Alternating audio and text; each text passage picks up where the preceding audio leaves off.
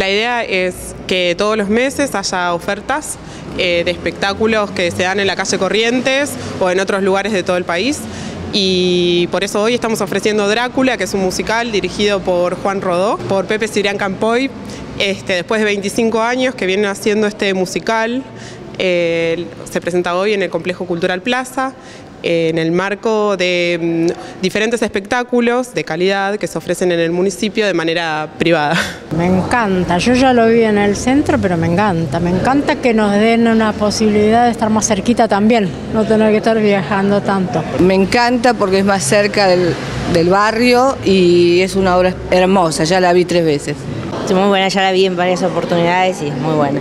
Y está bueno porque está cerca y es más accesible a todos. Julio, por un lado, tenemos por supuesto las eh, vacaciones de invierno con diferentes propuestas para chicos, tanto de espectáculos eh, gratuitos para toda la familia, como espectáculos también con venta de entradas, por ejemplo Los Vengadores, El Sapo Pepe, eh, Peppa Pig. También tenemos espectáculos para adultos como el stand-up de Dalia Goodman, Daddy Brieva, Alejandro Dolina y un montón de cosas más.